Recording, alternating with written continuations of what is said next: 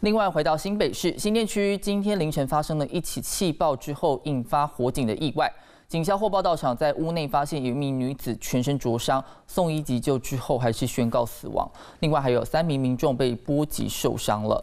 由于气爆的威力非常的强大，公寓四楼阳台的铁窗被炸飞到地面，砸到了路旁的轿车。起火的地点邻居有一名大概三十七岁的男子，右脚被碎玻璃给割伤了。另外还有一名年约七十岁的妇人，左脚踝撕裂伤，还有一名二十九岁女子肢体擦伤。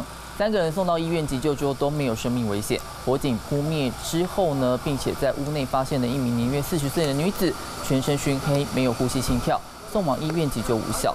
火场初步鉴定应该是阳台外面有三支的瓦斯桶漏气引发气爆，确定的原因还要进一步搜证理清。想要获取更多新闻资讯，想要看到主播最新的动态，赶快订阅华视 YouTube 频道。